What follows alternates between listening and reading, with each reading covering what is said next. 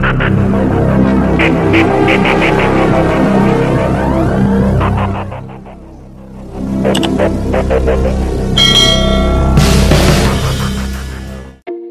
sahabat, apa kabar Anda hari ini? Semoga tetap sehat dan bahagia selalu.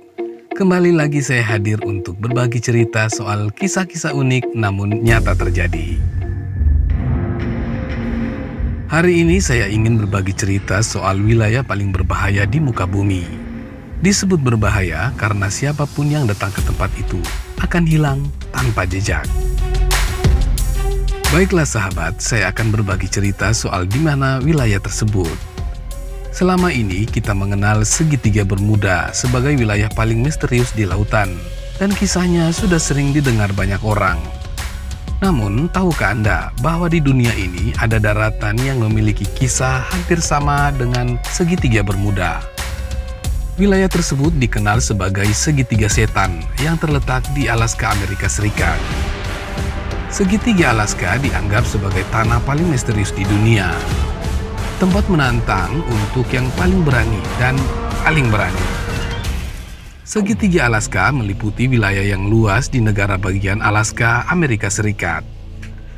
Membentang dari wilayah tenggara dekat Jenau dan Yakutat hingga wilayah utara pegunungan Borough dan kota Angkor. Di dalam segitiga Alaska ada banyak daerah yang tidak diketahui, Hutan belantara yang sama sekali belum dijelajahi termasuk puncak-puncak gunung besar dan tundra tandus yang terisolasi. Meski bukan tempat yang aman, banyak orang yang suka berpetualang dan menjelajahi alam tempat ini. Setiap tahun ratusan operasi pencarian dan penyelamatan dilakukan di sini. Meski begitu, Angkatan Bersenjata Federal jarang menemukan jejak korban dalam kondisi hidup atau mati. Menurut statistik, ada sekitar 16.000 korban hilang di udara tipis segitiga Alaska yang misterius.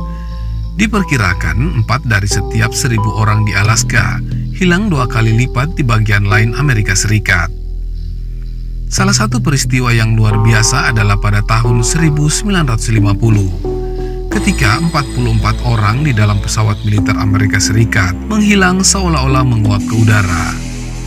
Kecelakaan itu terjadi saat pesawat dalam perjalanan dari Alaska ke Texas pada tanggal 26 Januari 1950. Tidak ada puing atau korban yang ditemukan.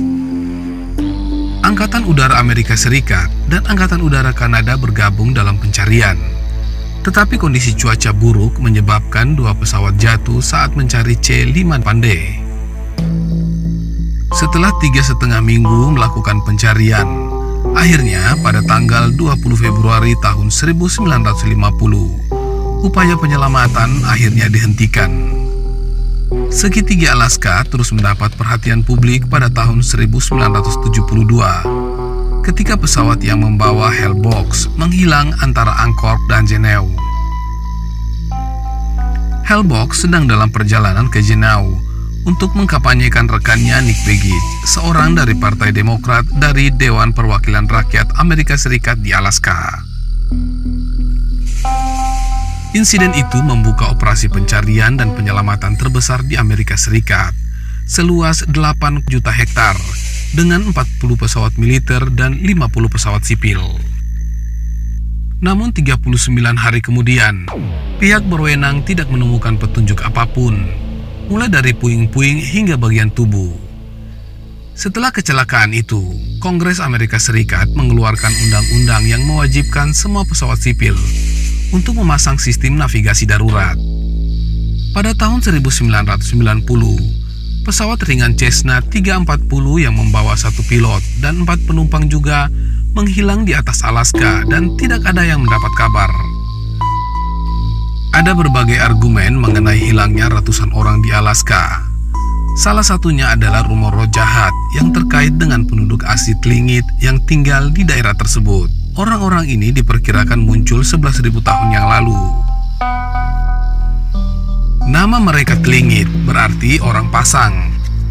Orang-orang ini percaya bahwa ada iblis yang berubah bentuk bernama Kustaka, hibrida antara manusia dan berang-berang. Makhluk ini menggoda manusia sampai mati. Menurut legenda, Kustaka juga dikenal sebagai Otterman, menculik orang-orang yang hilang ini, kemudian mencuri jiwa mereka. Cerita rakyat ini memang tidak pernah terbukti, tapi setidaknya masih menjadi kisah yang menakutkan.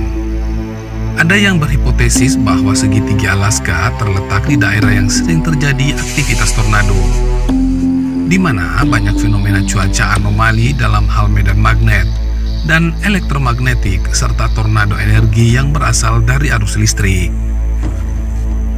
Beberapa tempat lain di planet ini juga diyakini memiliki fenomena seperti ini, seperti gunung berapi Hamakulia di Hawaii, Laut Setan di Jepang, segitiga Bermuda, serta kutub utara dan kutub selatan.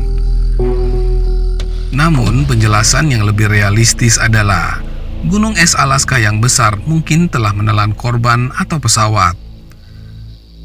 Gletser Alaska memiliki banyak rongga seperti sarang lebah dengan gua tersembunyi yang dapat menampung seluruh rumah atau bangunan.